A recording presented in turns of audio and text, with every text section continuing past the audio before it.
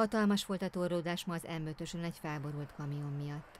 A 20 tonna zöldséget szállító török kamion Budapest felé haladt, amikor vezetője valószínűleg elaludt, áttért a belső sávba, ahol leszakította a szalagkorlátot, majd a sofőr ellenkormányzott, a jármű pedig a strádán keresztben felborult, elfoglalva mindhárom sávot. Információink szerint a kamiont vezető férfit az oldalérkezők emelték ki a felborult fülkéből. A helyszínre mentő is érkezett, de a sofőr kisebb zúzódásokkal megúszta a balesetet.